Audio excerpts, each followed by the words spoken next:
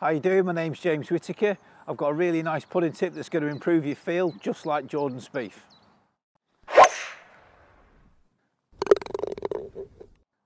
Okay, there's one player in the world at the minute that is really, really putting well, and that's Jordan Spieth. He has a little bit of an odd movement when he's making his stroke, and that all comes from a drill he was doing on the putting green, and he's just, it works so well for him, he put it into play, and look, the guy's winning millions, so who can say it's wrong, okay?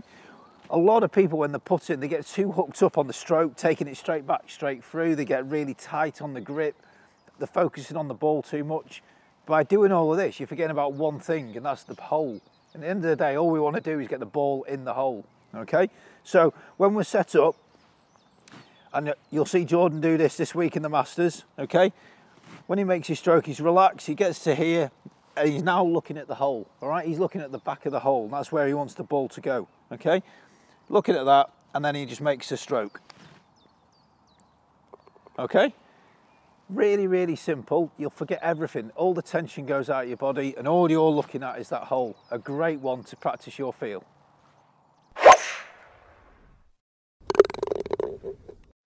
Okay guys, so if you like our videos, subscribe to our channel, follow us on Twitter or like us on Facebook. All the links are below. Let's hope we can help your game.